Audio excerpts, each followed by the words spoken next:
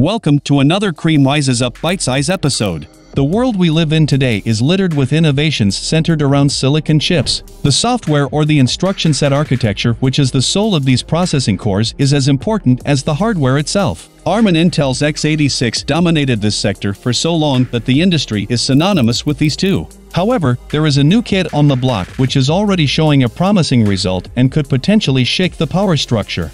Enter RISC-V, an open-source instruction set for processors which many in the industry believe will serve as a launching pad for a much broader open-source hardware movement. Concocted in Berkeley University, California, in the middle of the famous Silicon Valley, RISC-V has initiated a tidal wave of innovation in the hardware development community. RISC-V-based designs are already being implemented in different industries, serving different purposes. Currently, RISC-V International, a non-profit organization, is looking after the RISC-V ISA, before delving further into things pertaining to RISC-V, it is essential to briefly explain what an instruction set architecture is all about. It is the abstract model of a computer that defines how the CPU is controlled by the software. It basically serves as a middleware or an interface between the hardware and the software. The ISA provides the only way through which a user is able to interact with the hardware. It defines how the hardware manages main memory, virtual memory, the input-output model of multiple ISA implementations, and which instructions a microprocessor can execute. Moreover, the ISA also defines the supported data types and the registers. We can also extend the functionality of an instruction set architecture by adding specialized instructions and capabilities. So, it's no stretch to say an ISA is the master blueprint of a processor core.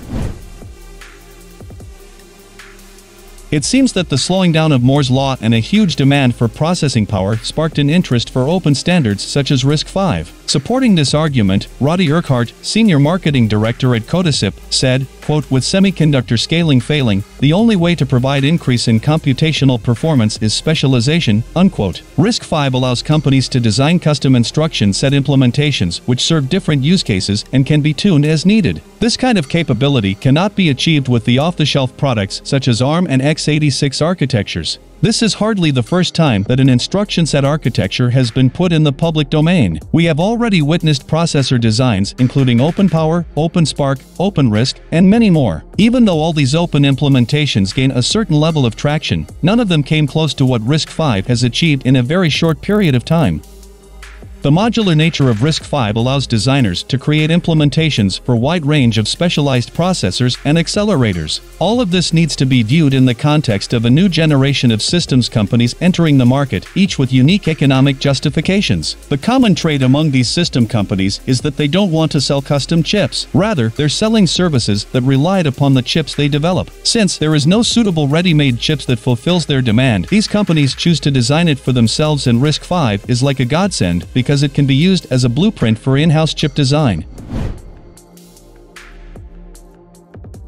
As you might guess, the two main benefits of using RISC-V are cost and freedom. This is hugely significant because companies don't have to incur expensive royalties and it also allows developers to design and experiment implementations tailored to specific tasks. Despite the lack of any new innovative features compared to other ISAs out there, RISC-V follows established RISC principles and uses a load store architecture. This makes it advantageous because it doesn't violate any known patents. One aspect that strengthens the appeal of RISC-V is that it has already garnered a considerable amount of support from different companies and government organizations. Many universities created open cores like the rocket cores from Berkeley, ETH Zurich with their Pulp platform, and many others. Currently, there are a number of collaborative groups within the industry and academia producing RISC-V-based open source cores, making them available to the community at large. OpenHW Group and the CHIPS Alliance are amongst the institutions who are contributing a lot for the RISC-V development and propagation. Many countries have created initiatives that are satisfying local needs. For instance, the GenPro Consortium in Israel is bringing industry and academia together by developing an innovative computing platform that is based on RISC-V. India also has its Shakti program driven out of IIT Madras. Besides these two nations, other similar programs exist in Japan and China where they are building RISC-V cores as open source in order to make them available to their communities and for their specific interests.